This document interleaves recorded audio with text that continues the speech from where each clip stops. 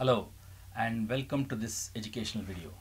Most of you might have observed a particular concept that keeps going on in the newspapers, in news channels about infectious diseases. There is an outbreak of this disease, that disease, it might be cholera or there might be uh, tuberculosis, malaria, dengue, chikungunya.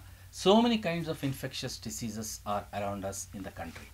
But did you know that there are, there are a set of infections that specifically affect the central nervous system, that is the brain and the spinal cord.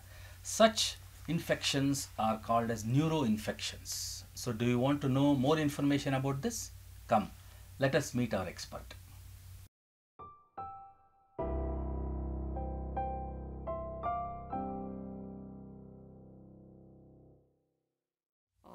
Recently we had a two year old child who came to our hospital.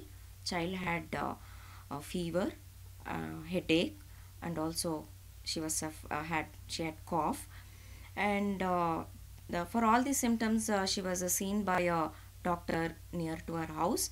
Uh, since the fever did not come down even after three days and in addition she developed vomiting there was stiff neck and also she had developed fits Immediately, the doctor referred her to a neurologist, and when she was seen by a neurologist, uh, she was diagnosed to have infection of the central nervous system.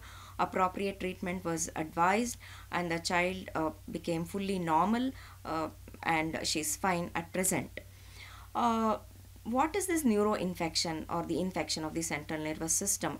It could be infection of the meninges, that is the membranes that are covering the brain. It could be infection of the brain parenchyma itself or it could be infection of the uh, spinal cord and its coverings. What are the organisms that uh, uh, can cause this uh, infection. It can be viruses, it can be bacteria, for example, bacteria, Streptococcus pneumoniae, hemophilus influenzae, meningococci can cause infection of the central nervous system. It could be a parasite, for example, neurocysticercosis. It could be a fungi causing infection, that example, Cryptococcus. So there are variety of organisms that can cause infection of the central nervous system basically who are at risk uh, to develop such a infection?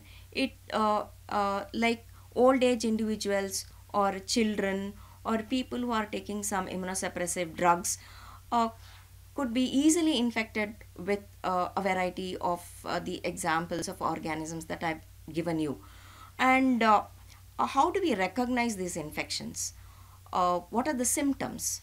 The symptoms are the patients can have a fever headache, vomiting, neck stiffness can be there, and some people can have fits.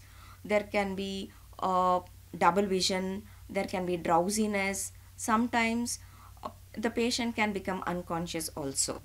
So, uh, when people or when uh, the patients are having such uh, symptoms, immediately medical attention should be sought because infections of the central nervous system can be very fatal if it is not treated with the appropriate drugs at the appropriate time. And also these infections can be easily prevented.